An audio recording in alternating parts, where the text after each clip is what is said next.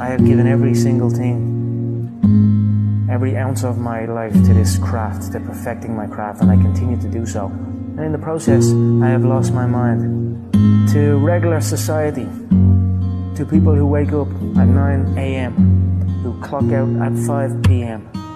They would look at me and say, I've lost my mind, but me, I have found it.